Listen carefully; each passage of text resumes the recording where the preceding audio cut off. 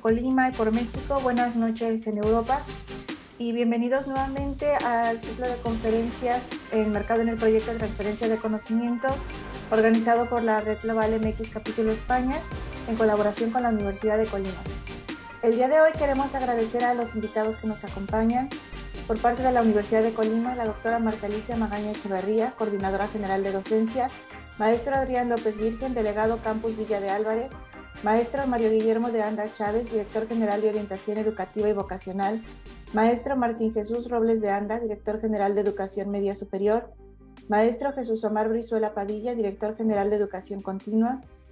Maestro Camilo Alejandro García Morales, presidente de la Federación de Estudiantes Colimenses. Maestra Gabriela Concepción Vargas Rueda, directora de CUBI. Doctora Susana Aurelia Preciado Jiménez, directora general de Educación Superior Maestro Alberto Paul Ceja Mendoza, director de la Facultad de Pedagogía, que es nuestro plantel anfitrión el día de hoy.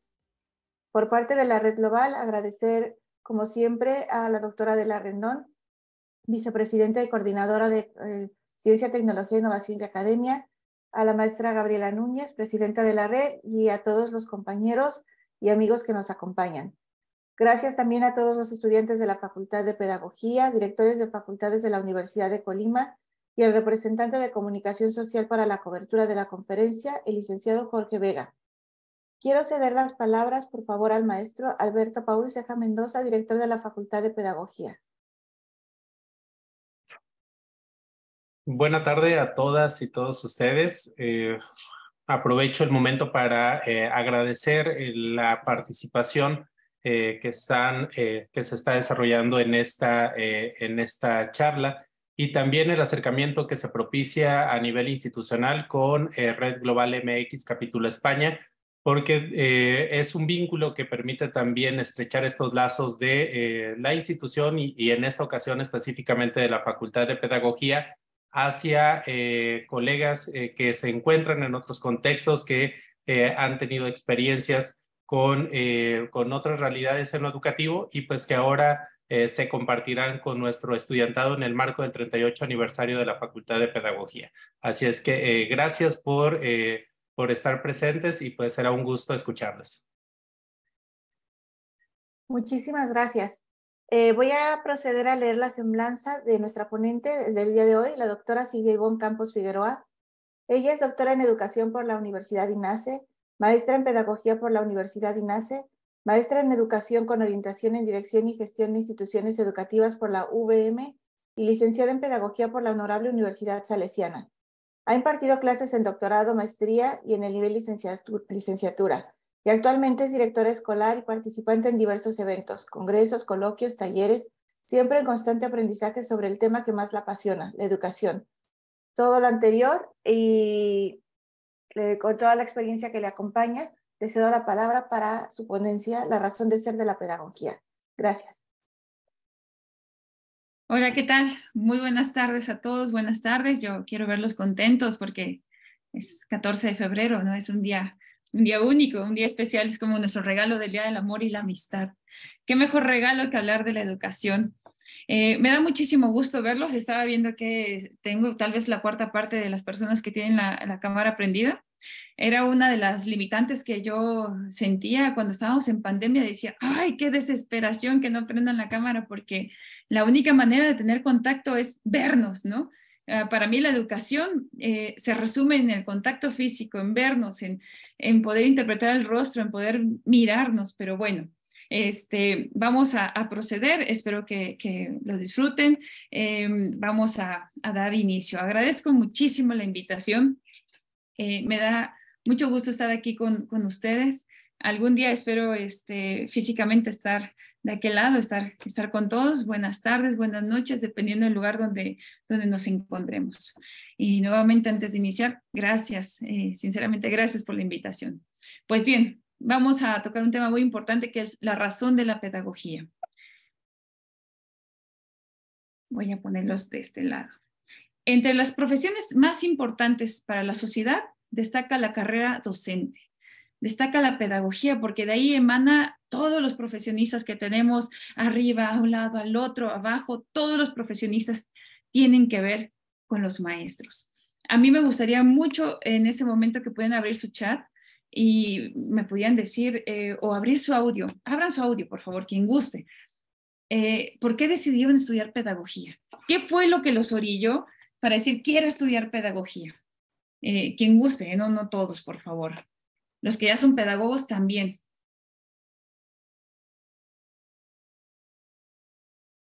A ver, alguien que me diga por qué quisieron ser pedagogos, por qué quisieron dedicarse al tema de la educación. Algunos maestros, algunas maestras, ¿por qué se metieron en este tema tan importante? Eh, mi, interés, mi interés por la educación, Liz Georgette Murillo Zamora, me gustaría ser maestra, pero ¿por qué? ¿Por qué quieren ser docentes? ¿Por qué quieren ser maestros? A ver, Sonia, ¿por qué te gustó la docencia?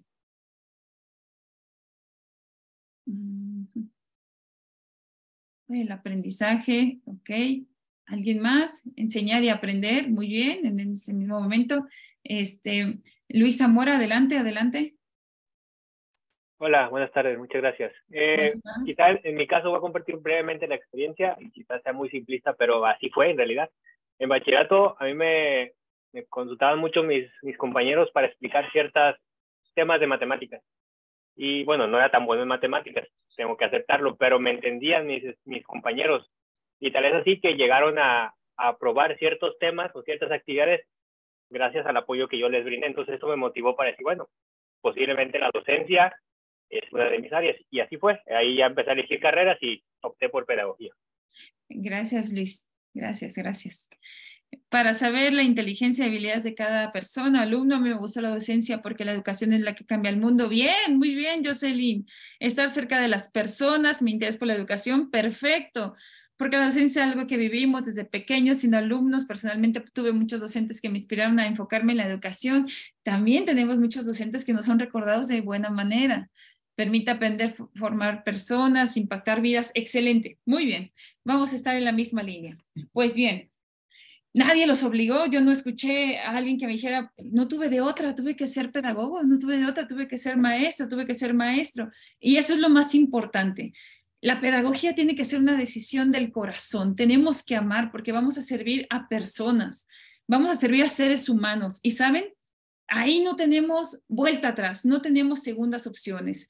Estamos en una fábrica, echamos a perder un producto, eh, paramos la maquinaria y volvemos a iniciar y creamos otro producto ya sin errores, pero con los seres humanos no tenemos segundas opciones, no tenemos segundas oportunidades.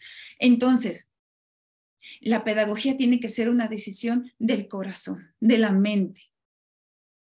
El debate sobre la calidad de la educación en México se ha centrado en los encargados de impartir la enseñanza. Muchos de los que estamos dentro del tema educativo podemos hablar del tema y sabemos la realidad y partimos de eso. Pero también del otro lado de la moneda están algunos personajes que ocupan políticamente cargos educativos eh, que saben, colegas, muy poco tienen que ver con la educación, pero que se atreven a dar eh, alguna información, a dar una opinión sobre la educación. Los verdaderos expertos y las verdaderas personas a las que podríamos escuchar una opinión son aquellas personas que están cerca de los alumnos. Son aquellas personas que están cerca de las escuelas. ¿Por qué? Están cerca de la realidad, están cerca de la necesidad, están cerca de una situación eh, una situación que tenemos aquí frente a nosotros. ¿Y que eso nadie, ningún libro, ninguna teoría, por muy expertos que sean, nos pueden venir a modificar. ¿El modelo educativo mexicano corresponde a nuestra realidad? ¿A nuestra realidad actual? ¿Responde a las necesidades? No. En mi opinión, el problema es que el modelo educativo ni es un modelo, porque en este momento en educación básica estamos manejando el 2011, el 2017, nos están adentrando a la nueva escuela mexicana y por supuesto tampoco es actual. Estamos en vías de prepararnos hacia una reforma que resulta algo eh, controversial, resulta algo para análisis eh, de una ponencia diferente a la del día de hoy, eh, que el hecho de que cada vez que se cambiaba de un color político, cada vez que se cambiaba de un presidente a otro, se cambiaba el modelo educativo. Era como su propuesta. Si la propuesta anterior había sido buena, se rompía porque llegaba otro presidente, ya sea del mismo partido político, ya sea de otro, pero se rompía. no podíamos ver el impacto de ese modelo educativo. Si el maestro ya se estaba apropiando de esos conceptos, de esos términos, teníamos que cambiarlos por los siguientes, porque entonces cada sexenio viene con su nuevo modelo educativo. Eh, en este que estamos viviendo, en el actual, apenas nos están adentrando, apenas nos están empapando de, lo que va a ser la nueva escuela mexicana, eh, que en mi punto de vista eh, humilde, por supuesto, y respetuoso. Hay algunas cosas que rescato, hay otras que todavía no me quedan claras porque ni siquiera a la Secretaría de Educación Pública le queda clara, ¿no? Entonces, al momento de bajar, sucede lo del efecto cascada, empieza con fuerza y a nosotros nos va llegando las situaciones con más dudas, eh, las situaciones más débiles, pero bueno, estamos en vías de aprendizaje. Los alumnos mexicanos siguen aprendiendo bajo una premisa educativa de hace 40 o 60 años. Y nadie dice que eso está mal, ¿eh? Eso está muy bien, eso estuvo muy bien en su momento, en su tiempo funcionó, pero en esta actualidad es obsoleta. La pandemia nos vino a mostrar la necesidad de actualizarnos, el saber que las herramientas están ahí, lo único que necesitamos es adentrarnos a ellas, el capacitarnos. Nadie dijo que capacitarse está mal. Nadie dijo que seguir aprendiendo está mal. Nadie en esta vida deja de aprender en algún momento de su vida. Seguimos en constante aprendizaje y eso, eso, colegas, nos vuelve aún más grandes. Entonces, ¿por dónde debemos empezar? Debemos empezar por un cambio en el plan y programas. Ya estamos en vías, ya estamos en ese, en ese punto donde, donde nos están preparando, donde ellos están finiquitando, están detallando, están em, marcando aquellos errores, porque también nos bajaron esa información para que uno como maestro diga, aquí, si este secretario de Educación Pública te estás equivocando, por favor, eh, reestructúralo. Eh, están eh, generando todo tipo de cambio para entregarnos un nuevo modelo educativo que sea pertinente a la sociedad que estamos en ese momento atendiendo pero también por la educación formal que reciben nuestros futuros maestros. La educación que yo recibí como pedagoga no es la misma que deben de estar recibiendo los pedagogos en este momento. Todo es un paso adelante de la sociedad que vamos a atender y que eh, miren qué compromiso tan grande trabajar con seres humanos. No solamente estamos trabajando con... Eh, eh, un número, estamos trabajando con personas, con historias, con vidas. Con frecuencia, en las clases de la universidad existe un nulo acercamiento con la realidad. Yo sé que en Colima no es así, yo sé que ahí los acercan, yo sé que, que los meten al campo. ¿Saben por qué? La pedagogía tiene que ser vivida. Sí, importa dejar leer un libro, sí importa realizar un ensayo, sí importa la manera de redactar un ensayo, eh, de realizar una, una investigación y todos los puntos que requiere la investigación, pero ¿saben qué? También importa que ustedes conozcan que los niños se mueven, que los niños hablan, que los niños son lastimados en su casa, que los niños son violentados, que los niños están preocupados y entonces un niño así no va a aprender jamás. Un niño que tiene hambre no va a aprender por más que tú diseñes una muy buena planeación. Algo que necesito que ustedes como futuros pedagogos conozcan y tengan muy cercano es que van a tener muchas ocasiones en que los niños no desean aprender, porque todas las necesidades de su vida superan incluso las ganas de aprender. Si tengo hambre, yo no tengo manera de querer aprender. No me importa. ¿De qué me sirve saber matemáticas, español? ¿De qué me sirve conocer todo eso si mis necesidades están rebasando lo que son las mismas asignaturas que me brinda el programa? Ustedes tienen que estar preparados para esto. Yo sé que en Colima los están preparando de una manera pertinente, pero bueno, requiero y necesito que ustedes lo tengan aquí, lo tengan en su corazón y sean personas empáticas, porque un pedagogo hace de todos, queridos compañeros. No solamente vas a estar en el pizarrón enseñando, no. Vas a terminar siendo un poco psicólogo, un poco médico, maestra, me duele esto, maestra, siento esto, maestra, me preocupa esto no sé cómo lo tengan que hacer, pero si decidieron ser pedagogos, lo van a lograr. Y algo mágico sucede que lo logran. Lo logran si ustedes aman a lo que ustedes se van a dedicar.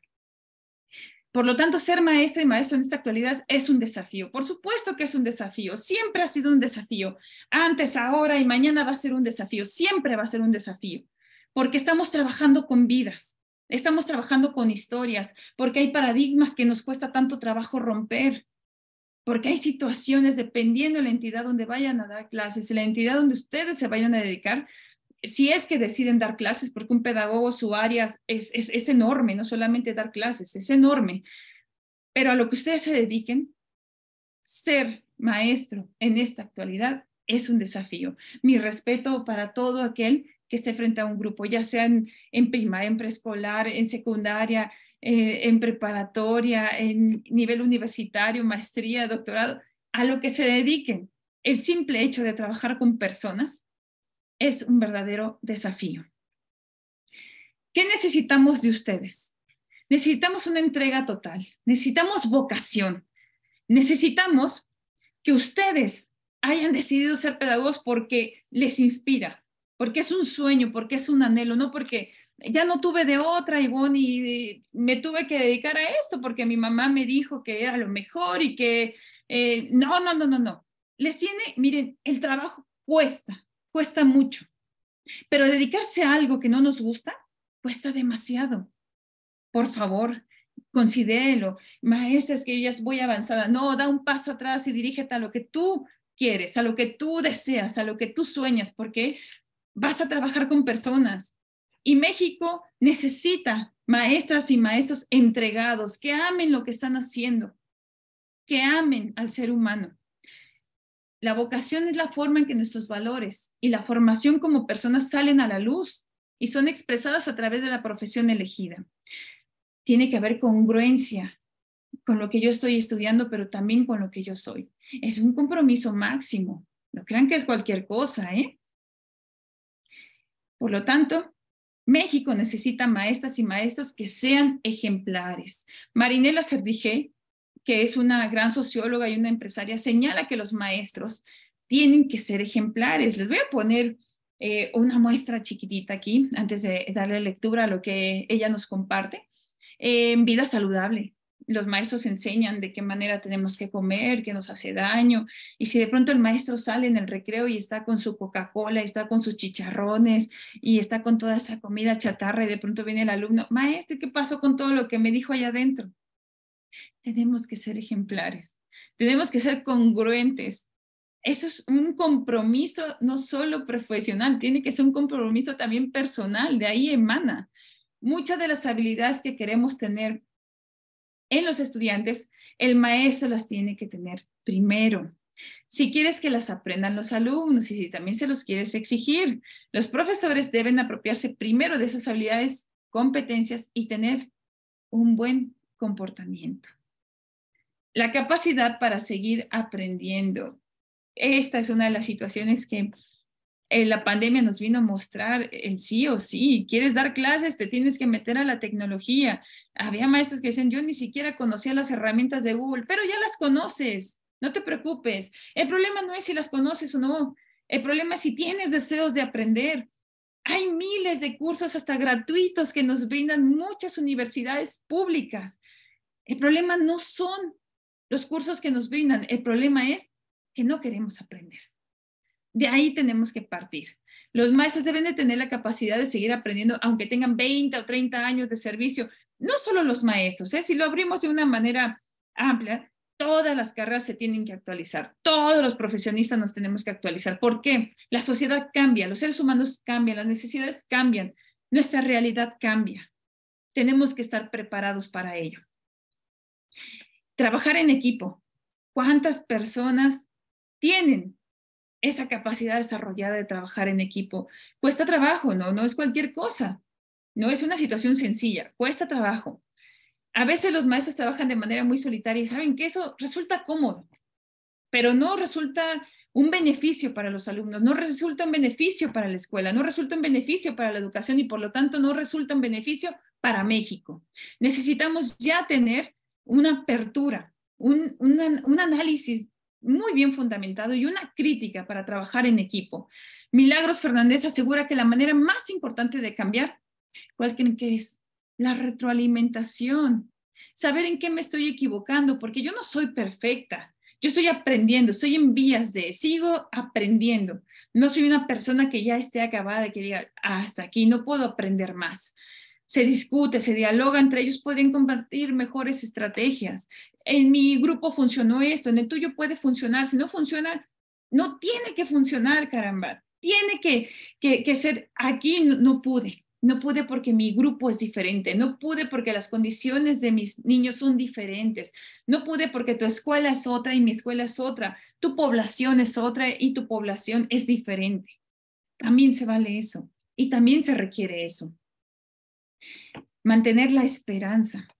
La educación es una tarea que implica esperanza. Ustedes que se están preparando requieren, ustedes son nuestra esperanza. Eh, un educador sin esperanza es una tragedia, porque estás trabajando en poner las condiciones de posibilidades para que el estudiante quiera cambiar. Y ese cambio forzosamente implica, implica esperanza. Seguimos trabajando para el mañana, seguimos trabajando para el día de mañana. Si ustedes eh, en este momento dicen, em, estoy preparando para atender este tipo de población y si después les cambia, síganse preparando. Pero que la esperanza jamás jamás se quede atrás, que siempre los acompañe. ¿Qué ciudadano queremos formar? Esa es una de las preguntas vitales.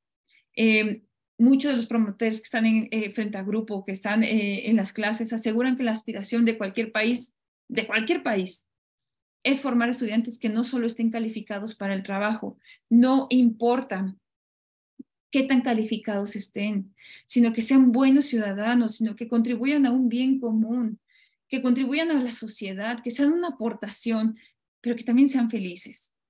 Entonces, algunas de las características que deben cumplir son un alumno con conocimientos básicos, por supuesto, que sepan dónde y cómo encontrar información, un alumno que sepa dialogar, convivir armónicamente y sepa resolver conflictos, no solo el de él, sino el de los demás, un alumno que reconozca las diferencias, que sea tolerante y respetuoso. Vuelvo a repetir el número tres, que reconozca las diferencias y que sea tolerante y respetuoso. Un ciudadano con pensamiento crítico, una persona que piense, que analice, que pregunte, que cuestione. Eso es lo que queremos. Ya no queremos niños callados en el aula, niños que solo hagan una copia. Necesitamos personas que piensen, que si no están de acuerdo lo externen y no sepan decir por qué. Un alumno que participe en sociedad, nos estamos enfrentando a la necesidad de construir un México más libre, justo, próspero, que forma parte de un mundo cada vez más interconectado, complejo y desafiante. México se vuelve cada vez un, un país más interconectado. Em, en ese contexto, la reforma educativa nos da la oportunidad, la que estamos viviendo en este momento, que yo estoy segura que ya se las hicieron llegar a cada una de sus aulas, todo lo que tiene que ver con la nueva escuela mexicana, eh, nos brinda la oportunidad de sentar las bases para que cada mexicana, cada mexicano y por ende nuestra nación alcance su máximo potencial.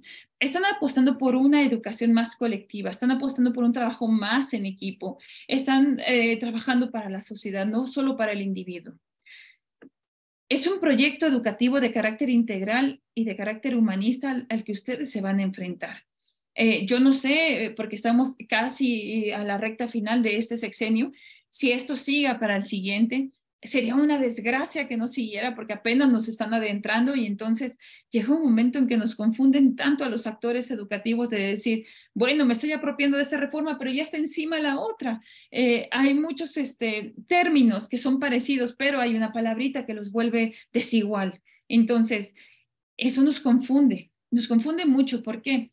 Primero estamos dando de nuestro tiempo para seguirnos capacitando, para seguir aprendiendo y para poderlo impactar en el aula, para poderlo impactar en la educación.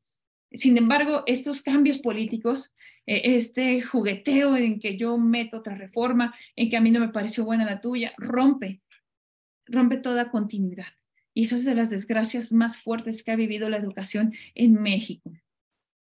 Si todo marcha bien y se sigue la nueva escuela mexicana, su enfoque, pedagógico pretende realizar cambios profundos en la educación en México, a partir no solo de entender, sino también de atender las condiciones de equidad, inclusividad, excelencia académica y la mejora continua. Todo esto partiendo de la relación del alumno con la comunidad a la que pertenece. Cinco cambios importantes de la educación en México que pretende la nueva escuela mexicana. La columna vertebral de, de esta reforma se basa en la excelencia educativa. A través de la mejora continua de su personal docente, a partir del ciclo escolar 22-23, un poco más de dos millones de maestros, yo diría que muchísimo más, eh, se van a ir capacitando. Ya nos están capacitando de manera gradual para adecuarse a los cambios eh, que propone esta reforma.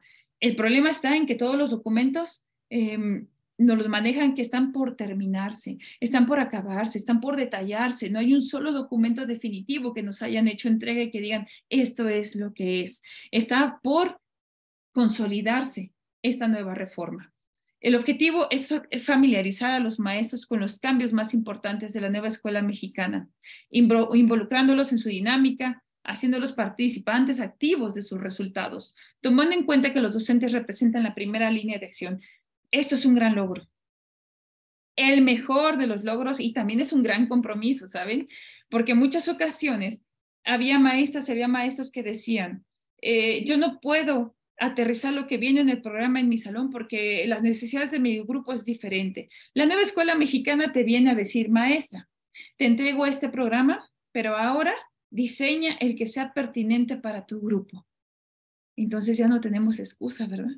Ya no hay ninguna situación en la que nos podamos excusar. La educación en México centrada en la comunidad.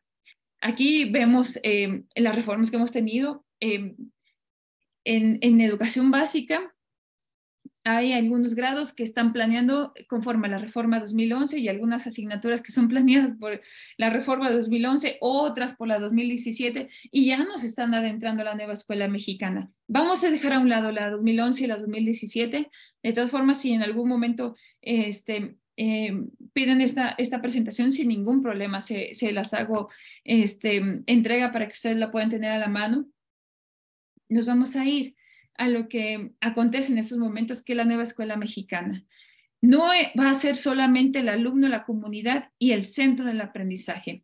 Pasamos del yo al todos nosotros, en el marco de una educación más diversa, más inclusiva, donde las similitudes y las diferencias entre los alumnos docentes y toda la comunidad educativa en general sean tomados en cuenta y también sean partícipes para el proceso de aprendizaje una mayor autonomía nos han venido a dar. Y eso es un, uno de los pluses que trae esta reforma. Este es quizá el cambio más grande y más polémico dentro de la estructura pedagógica de la nueva escuela mexicana. En su apartado 2 señala de manera textual lo siguiente, quiero que, que chequen esta parte porque es muy importante. ¿Saben? Aquí entra lo que somos nosotros como pedagogos, nuestro criterio, que eso es algo muy importante. La autonomía profesional del magisterio. Aquí van a tener ustedes todo el derecho para contextualizar los contenidos de los programas de estudio de acuerdo con la realidad social, territorial y cultural, por supuesto, educativa de los estudiantes. Es decir, después de un gran diagnóstico que realicen con sus niños, van a poder decidir qué es lo mejor para su grupo, qué es lo mejor que les va a beneficiar a su grupo aunque todavía, por supuesto, no se han publicado las bases y requerimientos detallados, esto es porque todavía no nos han entregado de manera definitiva los programas de estudio, vale la pena destacar que los docentes no tendrán que limitarse en los contenidos temáticos como antes. Hay muchas disyuntivas, hay muchas dudas, hay muchas preocupaciones porque anteriormente nos, medían de manera cuantitativa a nivel nacional y a nivel internacional. El ACE nacional, este PISA internacional, y era un número lo que nos venía a determinar. Esto es algo de las dudas que, a mí me acompañan en este momento y ¿de qué manera lo va a resolver eh, la nueva escuela mexicana? Porque eh, yo voy a priorizar los contenidos en mi grupo, pero si me viene una evaluación externa, me va a venir acompañada de los contenidos que está requiriendo el programa. Entonces, hay que ver de qué manera lo va encauzar la nueva escuela mexicana. Seguramente tienen una estrategia en eh, la cual todavía se desconoce. La calificación numérica viene a evolucionar a una valoración. Sin embargo, siguen manejando las, las este, boletas, se siguen manejando la calificación aprobatoria, pero bueno, vamos a esperar a, que ya nos bajen de manera eh, pertinente todo lo que tiene que ver con, con esa reforma. El objetivo es replantear el concepto de valoración em, de valoración evaluativa, con la finalidad de, permitir que el estudiante pueda comprender sus avances de acuerdo con sus propias condiciones, ritmos y estilos de aprendizaje. Valorar a cada quien de manera individual, no grupal. La nueva escuela mexicana considera que el actual modelo de evaluación, que es un modelo basado en un proceso eh, cuantitativo, va a trasladarse a una situación más valorativa, más cualitativa. Por lo tanto, esto ha permitido que durante generaciones se nos evalúe de una manera arbitraria muchas veces, ¿verdad? Esto quiere decir que si nos sacaban cinco era una, eh, era una reprobación, si solamente podíamos obtener seis, si la Secretaría de Educación Pública en ese momento decía, no, estamos en pandemia, nadie puede reprobar, todos tienen que aprobar. Y entonces lo publicaban en las noticias y entonces el papá, si antes entregaba dos tareas, ahora no entrega nada porque han publicado que nadie reprueba. Todo eso lo van a encauzar y vamos a esperar a la, a la, asesoría pertinente y al momento en que ejecuten todo esto de una manera puntual y de una manera pertinente para contextualizarnos a nivel nacional todos los actores educativos. En resumen, eh, colegas, ¿qué se espera de la nueva escuela mexicana de los estudiantes? ¿Qué queremos? Se espera que alcancen la excelencia académica, porque ese término es pertinente. Si van a realizar examen el día de mañana, eh, que, nos, que nos quede esa palabra, la excelencia. Pero esa es una idea muy general porque en esencia ese ha, ha sido el objetivo de todas las reformas, ¿verdad? En este caso se espera que los estudiantes de la educación pública en México logren estos 10 objetivos. Primero, reconocer el derecho a la vida digna, a decidir sobre su cuerpo, a construir una identidad personal y colectiva, a vivir en un estado de bienestar, Número dos, vivir, reconocer y valorar la diversidad étnica. Esto, que era una situación de burla en muchas escuelas antes, viene a transformarse. Nos vienen a marcar que es una de las situaciones que como escuela tendríamos que incluso valorar, resaltar en nuestra, en nuestra comunidad educativa. Reconocer los mismos derechos en mujeres y hombres, los mismos derechos con la misma capacidad de acción, autonomía, decisión para vivir una vida digna, libre de violencia y discriminación. También valorar su potencial cognitivo, no solo cognitivo, el físico, el afectivo, para mejorar sus capacidades. Desarrollar el pensamiento propio.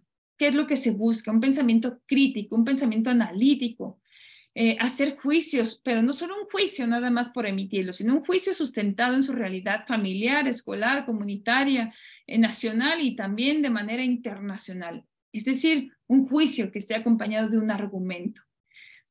Percibirse como parte de la naturaleza. Esto no es otra cosa más que entender la importancia de la correlación entre su salud física, mental, sexual y reproductiva. También vamos a ver esos, esos términos, ¿no? Saber interpretar, fenómenos, hechos, situaciones históricas, culturales, naturales y sociales a partir de temas diversos.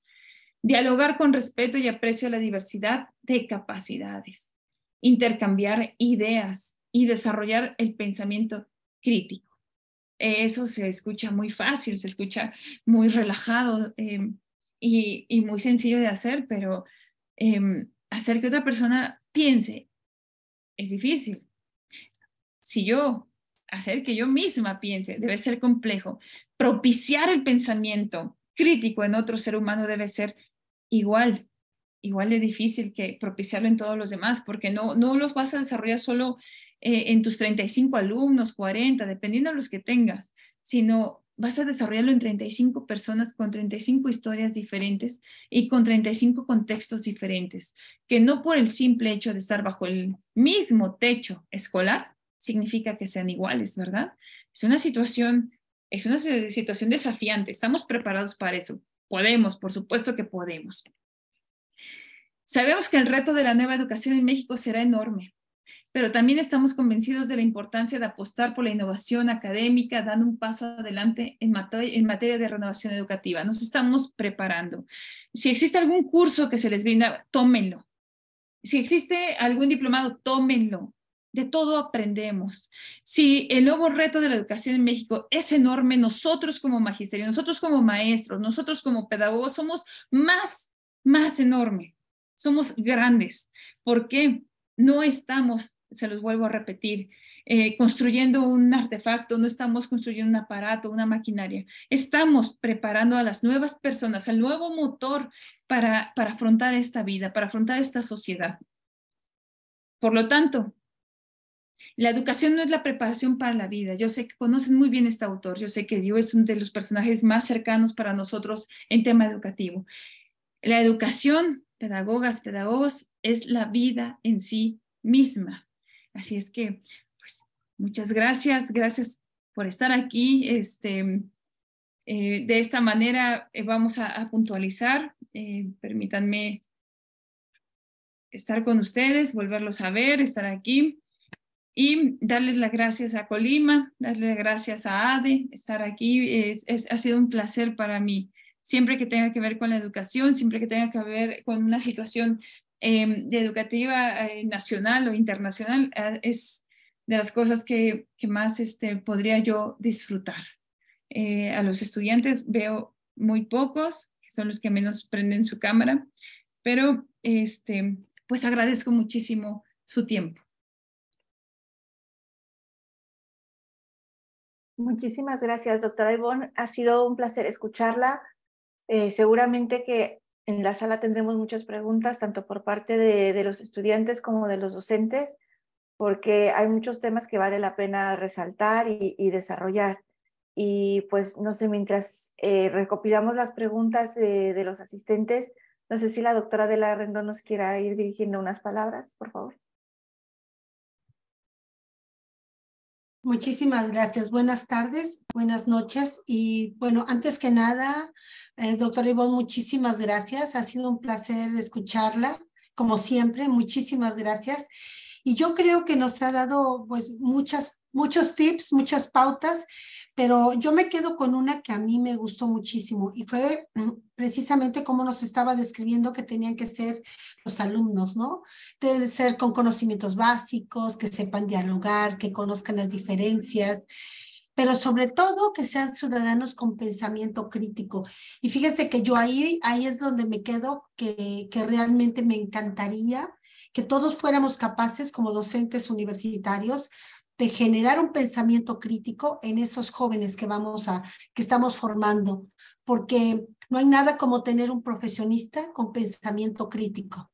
No hay nada mejor. Eso es lo que podemos hacer. Yo creo que una de las grandes labores como docentes todos es tener eso, un crear seres humanos con pensamiento crítico.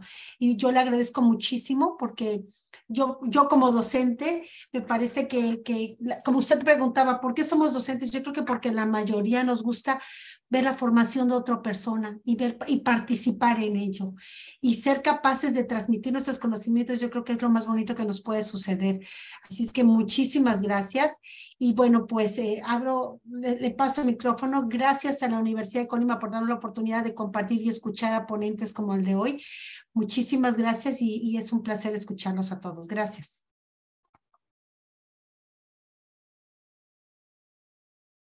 Sí, si alguien tiene alguna pregunta, por favor puede levantar la mano o anotarla en el chat, como prefieran.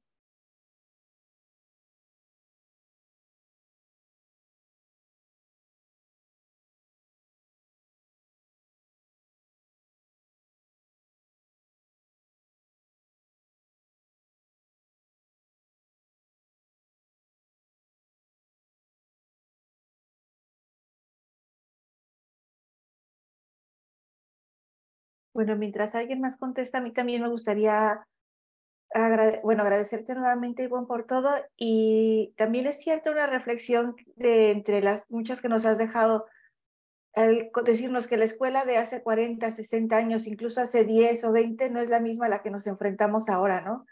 Y esta reflexión creo que además no solamente es válida para los futuros pedagogos o para los que ejercen la profesión en la actualidad, sino también para los que somos padres porque aunque la educación que nosotros recibimos es que no es la misma la que están recibiendo nuestros hijos y por lo tanto tampoco podemos pretender educarlos de la misma manera. Y a veces creamos ese error, ¿no?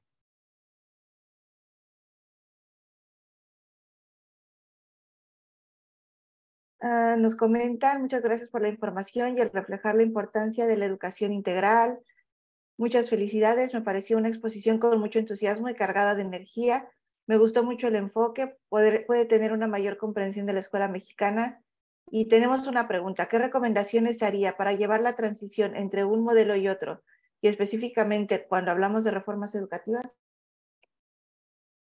El problema está que muchos de los modelos que hemos tenido en México no han sido creados precisamente para México han sido eh, algunas situaciones que han tomado de otros países y que han venido a, construir aquí en México, eh, tomando de eh, Finlandia, tomando de España, tomando de acá, pero no ha sido creado para las necesidades de México. la recomendación más básica que yo podría hacer es precisamente la oportunidad que la nueva escuela mexicana nos está brindando que es el trasladar lo que el programa nos está brindando a las necesidades de nuestros alumnos. Ahí nadie se puede meter. Nosotros como maestros somos los conocedores de qué alumnos tenemos bajo ese mismo techo. Es una de las premisas que yo agradezco mucho a, la reforma que está en este momento por impactar a, México en temas de, de educación, que es la nueva escuela mexicana, el brindarnos la oportunidad de trasladar esos conocimientos a las necesidades de nuestros alumnos. Em, no, no, no quiero em, em, encasillar en decir la educación de hace 60, 40 10 es muy mala. No, no, no, Solo quiero decir que no responde a lo que ahora tenemos como, como estudiantes, como alumnos. Decías muy bien, ¿no? Eh, incluso yo como madre de familia agradezco que a lo mejor sea tomada esa situación porque los requerimientos son diferentes, ¿saben? Las redes sociales nos llevan un paso adelante y nos vienen a, veces hasta responder de, y malinformar a nuestros, a nuestros jóvenes de una manera diferente y como no debería ser. Nosotros no debemos de tener como esa limitante de poder afrontar algunos temas que en algún momento eran unos tabús, ahora ya no lo son, ahora ya está más abierto. Y la única, la única recomendación ya para cerrarlo de manera precisa es contextualizar ese programa a las necesidades de tu propio grupo.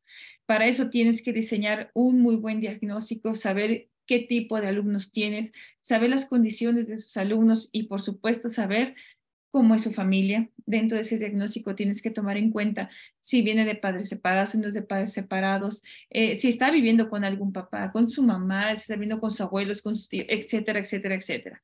Entre más detallado sea el diagnóstico, más aportación podemos tener como maestras y como maestros. Eh, si tengo aquí algunos colegas que están al frente de grupos de pedagogía, eh, lo manejaba muy bien ADE, ¿no? Formar alumnos críticos. Yo creo que en estos momentos se requieren pedagogos críticos, educadores críticos que puedan em, contextualizar lo que tienen en sus manos. No, no hay segundas oportunidades eh, para la educación. Em, esa es una de las cosas que más me ha dejado a mí em, en claro el decir, como maestro tengo una oportunidad y la tengo que aprovechar, bien o bien. Muchas gracias. Eh, explicas bien la importancia del contexto sociofamiliar del estudiantado y la pregunta que me hago, ¿esto cómo lo podré vincular al programa de las materias que se imparten? Esas de las cosas que, nos, van a, nos van a enseñar en todo lo que tiene que ver con la preparación de la nueva escuela mexicana. Eh, todo va a poder vincularse, todo vas a poderlo priorizar el programa te va a dar a ti eh, lo que tienes que enseñar, pero tú vas a elegir lo que requiere tu, grupo, ¿no? Eh, las materias a nivel nacional, pues sí, por supuesto que tiene que haber un perfil de egreso, tenemos que responder a ello, pero todo va a ser encausado acerca de, lo que requiere tu propio grupo. Eso no es cualquier cosa para un pedagogo, pero es algo que se venía pidiendo desde atrás y decir, ¿por qué me están pidiendo que yo, yo inicie del 10 y mis niños vienen en el 2? Entonces, tú vas a poderlo contextualizar y lo vas a poder eh, respaldar, que es lo más importante, ¿saben? Porque de las cosas que más nos atacaban a nivel eh, educativo eran las supervisiones, eran el decir, ¿por qué tú te encuentras en el tema 2 y tu compañero se encuentra en el tema 1? Bueno, es que mis niños son diferentes. Es que eh, mis necesidades son diferentes. Ahora lo podemos argumentar. Ahora tenemos esa autonomía curricular como pedagogos, porque eran arbitrarias esas supervisiones, porque tú tenías que, dar este, este tema porque viene en tu planeación, sí, pero el pasado que también venía no, no había quedado claro. Entonces, ¿por qué voy a pasar a un nivel más fuerte si todavía no queda claro eso? Pues tenías que pasar sí o sí porque las supervisiones estaban encima de ti. Y entonces tu compañera iba bien y tú ibas mal. Y esa es una de las cosas más incongruentes en el tema educativo. Ya no, ya no se espera y ya no se ve eso eh, a, futuro porque son de las cosas que eh, la nueva escuela mexicana ha dejado a un lado.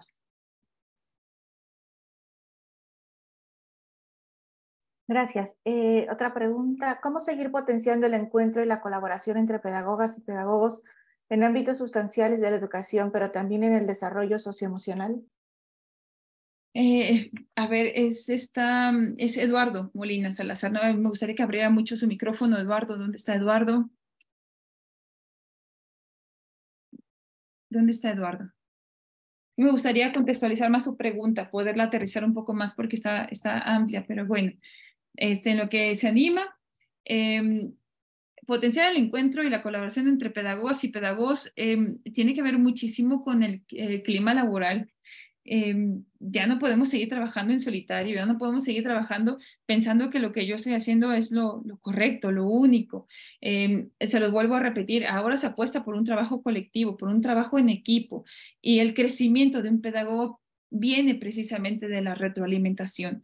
Y la retroalimentación es otra cosa más que tomar lo que tú crees que, que te va a mejorar y que tengamos esa capacidad, esa, esa crítica de decir, lo que me están brindando, lo que me están diciendo, va a ayudar a mi crecimiento profesional, pero no solamente a ti, a tus alumnos, porque si tú como maestra, como maestro, como pedagogo creces, por supuesto que también va, va, vas a crecer. Inés Margarita está levantando su manita.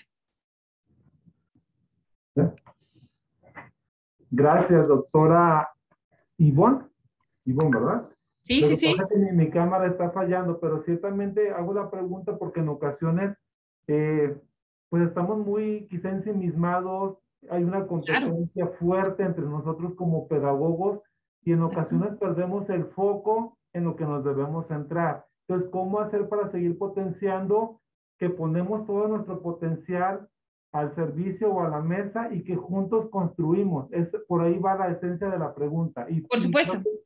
Que me, da, me da mucho gusto que, este, que estés aquí, que Inés te haya permitido el, el incorporarte en su, en su pantalla. Eh, esa palabra que has empleado muy bien es, es de las arrogancias más grandes que, que, podemos tener en la educación, estar ensimismado. No te haces daño solamente tú, le estás haciendo daño a tus niños, le estás haciendo daño a tus alumnos estás haciendo daño a generaciones y generaciones. En este caso, em, vamos a partir de una situación muy importante. Em, existe un director, existe un supervisor, existe un jefe de sector, dependiendo eh, el cargo que se ocupe y cómo se llame en su entidad. Pero el líder tiene que tener a su equipo junto. ¿Quieres trabajar en equipo o no quieres trabajar? Aquí no es una situación solamente y meramente de invitación, es una situación de contribuir a la sociedad, de decir, la nueva escuela mexicana no solamente te lo está pidiendo, te lo está demandando. Te está diciendo, deja a un lado el estar ensimismado porque necesitamos que te integres al equipo. Porque lo mejor que podemos lograr es trabajar en equipo. O entonces, ¿tú con qué autoridad vienes a organizar trabajo en equipo con tus niños cuando tú ni siquiera te sabes guiar en un, en un colegiado, ¿no? Eh, viene una situación de capacitación este, eh, viene una, una situación, Eduardo, de, de, venir a romper paradigmas, sí o sí. Es, una situación que, eh, yo veo que el gobierno se ha estado esperando, que ha sido mesurado, que se ha tardado más años que otros gobiernos para vernos impactar una reforma educativa, pero que yo le veo la ventaja de decir, deja a un lado tus intereses, deja a un lado esto, vamos a trabajar en equipo. Y entonces, ahí viene el hecho de, no solo es una invitación, ¿eh? eso es un requerimiento a nivel nacional. Gracias, Eduardo, por tu pregunta. Gracias. Y tenemos dos preguntas más, las voy a juntar. ¿Qué rasgos consideras que tendría una pedagogía crítica? Esto como base en la formación de profesionales de la pedagogía que sean críticos. Y por otro lado, desde tu experiencia como pedagoga, ¿cuál sería el nuevo perfil de pedagogo pedagoga que se requiere en esta nueva realidad? Eh, vamos a, la situación eh, de los rasgos que se considera que tendría una pedagogía crítica. Es el análisis, es el conocimiento. Eh, para poder tener eh, un, un pensamiento crítico necesitamos conocer, necesitamos prepararnos, necesitamos leer. Yo les decía, es tan importante lo que nos brindan en el aula a nivel teórico como tan importante es que nos puedan mandar al campo, que nos puedan acercar a la realidad, y que nos puedan presentar diferentes realidades y decir, te vas puesto para un alumno como este, como este, como este y como este. Pero no es una hipótesis, te estamos mostrando una situación real.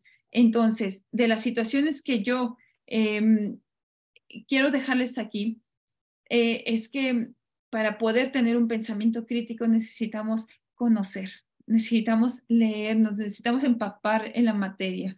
Eh, si han decidido estudiar pedagogía, adéntrense a eso, conozcan de eso. Existen foros, cursos, diplomados, talleres acerca de, ese tema. No se esperen a terminar la licenciatura. Desde ahorita lo pueden lograr y eso también es llevar un paso adelante y eso también es volverlos distintos a todos los demás. Estamos buscando eh, modelos porque al fin y al cabo cuando ustedes están frente a un grupo eh, y se lo vuelvo a repetir, quiero, quiero hacer hincapié en eso. El pedagogo tiene varias ramas para poderse desempeñar y varias áreas para poder proyectar lo que es la pedagogía. Eh, vamos a enfocarnos en, la parte más eh, vital, que es estar frente a grupo, estar frente a personas. Em, el estar frente, frente a grupo, estar frente a ellos, ustedes tienen que tener un conocimiento prácticamente de todo pero también si es que no lo tienen, ¿cómo van a manejar ese, esa situación? Eh, si un alumno puede incluso adivinar, o no adivinar, saber la respuesta antes que ustedes, ¿cómo van a manejar e, esa situación? ¿Les va a hacer sentir mal? ¿Les va a hacer sentir eh, bien? Eh, ¿Van a sentir que, sus alumnos los están adelantando? ¿Qué, qué es, qué es lo, ¿Cómo lo van a percibir? ¿Cómo lo van a sentir? Porque tenemos de todo en un aula, de todo y existen mentes brillantes muy fuertes que tenemos como alumnos y que en ese momento eh, pueden ser niñas, niños, jóvenes, etcétera, y más adelante, cuando ya crecemos, nos vamos encontrando a la licenciada, a la maestra, al dentista, al doctor, em, de qué manera quieren ser recordados o proyectados en la vida de cada ser humano, ¿no? Em, ¿Cuál sería el nuevo perfil del pedagogo eh, que se requiera a esta nueva realidad? Lo han dicho en la pregunta, que sean pedagogos reales, que sean pedagogos eh, que respondan a la necesidad, que sí eh, vuelvo a retomar, porque no quiero que se van a quedar con esa idea de eh, está mal la lectura de los No, no, no, no, no, está bien nuestra preparación teórica, la necesitamos, la requerimos, pero necesitamos una pedagogía real que responda a estos tiempos, que responda a lo que están demandando estos niños. yo no sé si a ustedes les pase o no, pero a veces hay preguntas que hasta impactan, ¿no? Hay situaciones que dices, ¿qué le contesto aquí? ¿Qué le contesto aquí? ¿Qué le contestaría, por ejemplo, la maestra de, qué le contestaría de este lado la maestra Claudia? Em, eh, te, te, quedas en shock de la manera en que ellos llevan de manera acelerada la vida. Nosotros tenemos que llevar un pasito adelante que ellos, estar dentro de todo. Y van a decir, oye, pero a mí no me compete eso al momento de decidir ser pedagogos, ustedes no saben ni siquiera qué mundo se han afrontado, van a vivir de todo, se van a volver hasta psicólogos, porque después de estar eh, con nuestra madre, con nuestro padre, el maestro resulta igual o a veces hasta más importante que un mismo familiar. Estoy leyendo los... Oh, Gracias. adelante, Claudia, si me ayudas. Sí, sí, sí. Está, tenemos una última pregunta eh, de parte de Angélica Rubí Gómez. Se cuestiona mucho la nueva escuela mexicana porque no define criterios, competencias, líneas mucho más específicas. Creo que es porque estamos tan acostumbrados, incluso nosotros, los pedagogos, a que nos dirijan, a que nos supervisen y cuando de pronto nos dan lineamientos tan importantes como el de formar de manera crítica, lo vemos como muy genérico, como que necesitamos más precisión y tal vez sea porque primero nosotros mismos debemos formarnos críticamente, libremente. ¿Qué opina al respecto? Angélica, ¿dónde estás, Angélica?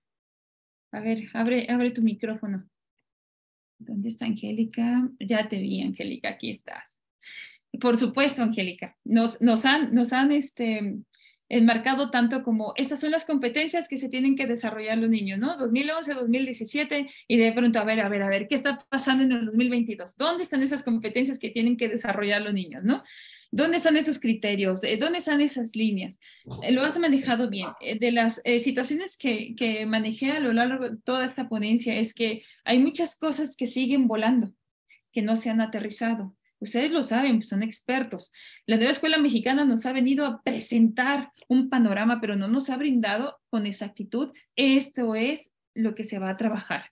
Entonces, eh, de las cosas que más resultan em, em, pues con incertidumbre para nosotros que estamos envueltos en este tema educativo es esperar a que llegue toda esa documentación precisa. Pero ¿sabes qué, Angélica?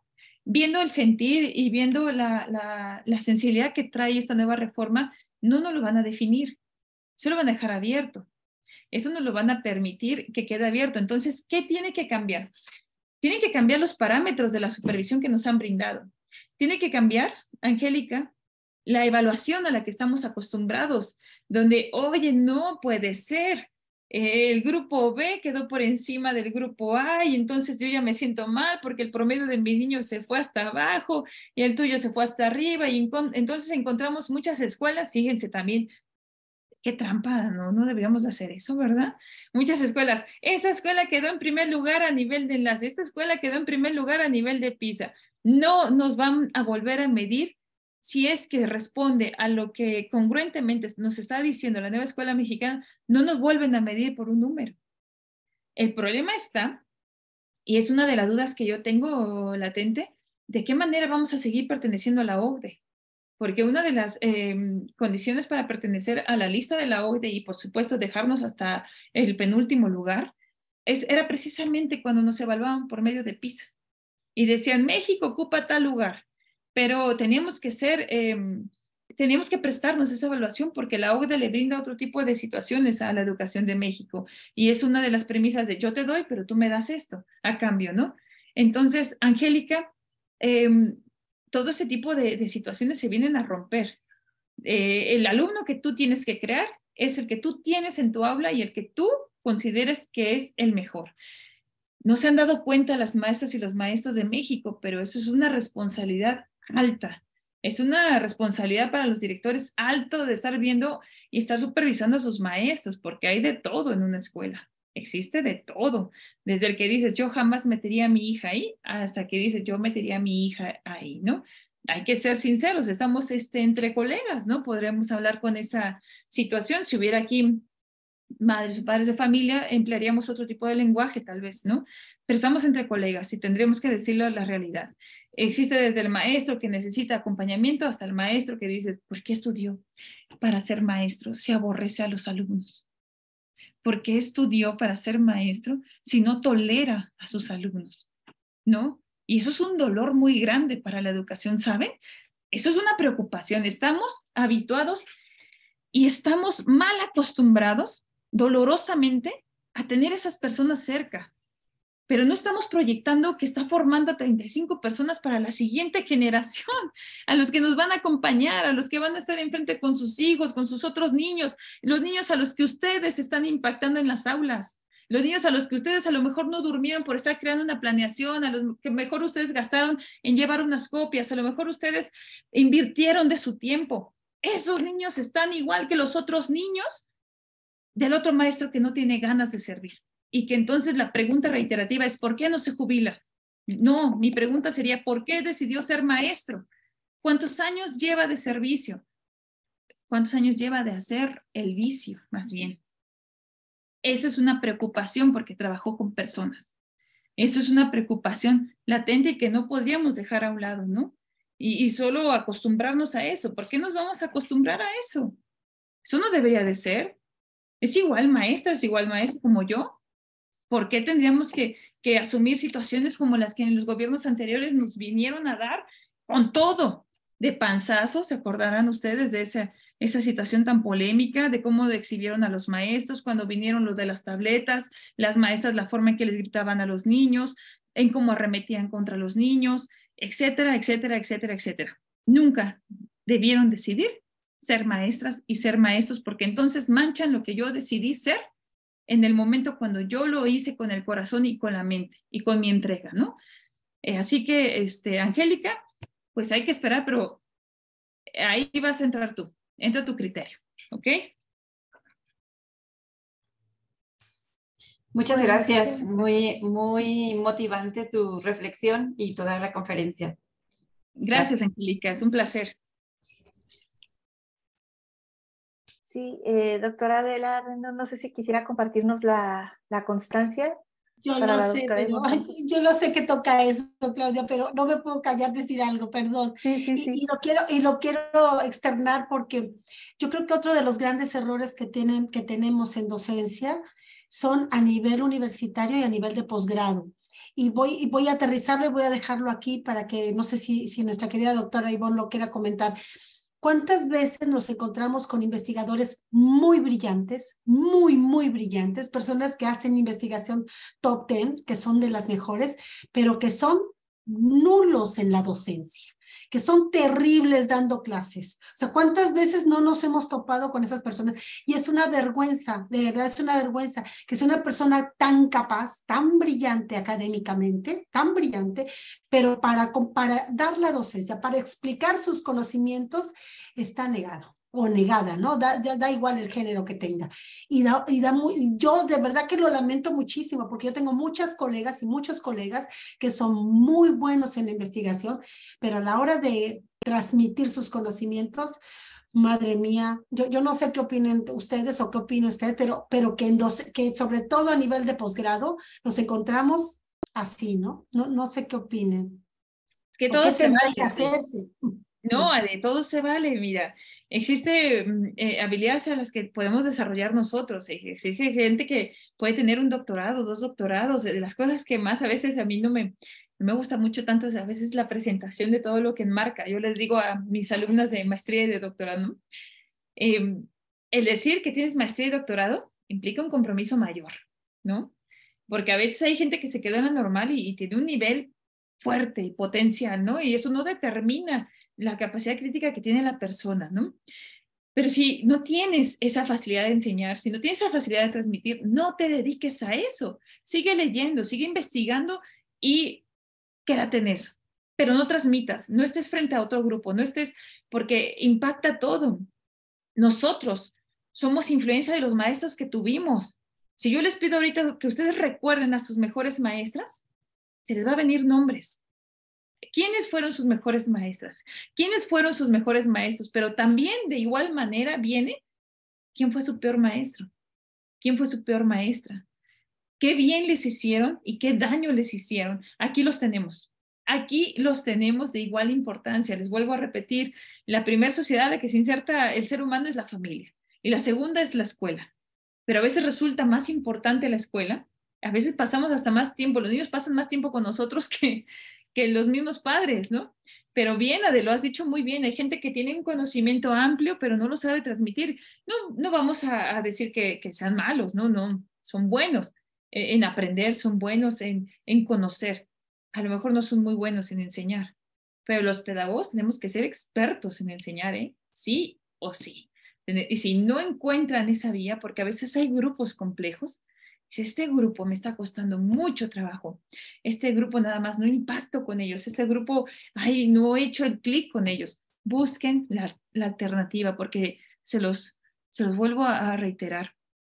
El, el trabajo es difícil, muy difícil, pero si estás en un lugar donde no amas, se vuelve complejo, se vuelve una pesadilla. Entonces mejor busquen el clic con el grupo, busquen la manera o simplemente no soy muy buena enseñando, me retiro de ahí. Punto, Adi. Pero sí, comparto contigo esa opinión. muchísimas gracias. Pues me voy a tomar el atrevimiento de compartir mi pantalla para darle, darle lectura a la constancia. Creo que sí lo estoy compartiendo, ¿verdad? Creo que sí lo ven. Vale. Pues muchísimas gracias antes que nada a nombre de la Universidad de Colima y por supuesto de la Red Global MX Capítulo España. Le otorga la presente constancia a la doctora Silvia Ivonne Campos Figueroa por impartir la conferencia magistral La razón de ser de la pedagogía, realizada hoy 14 de febrero con duración de una hora y valor curricular en el marco del programa institucional de charlas divulgativas Red Global MX Capítulo España, Universidad de Colima.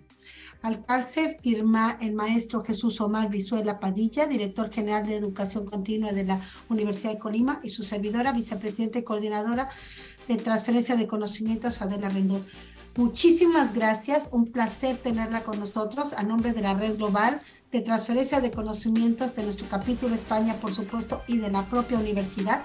Muchísimas gracias y pues eh, queremos seguir teniendo personas como usted en, en estas charlas. Muchísimas gracias. No sé si alguien más quiere decir algo. Muchísimas gracias.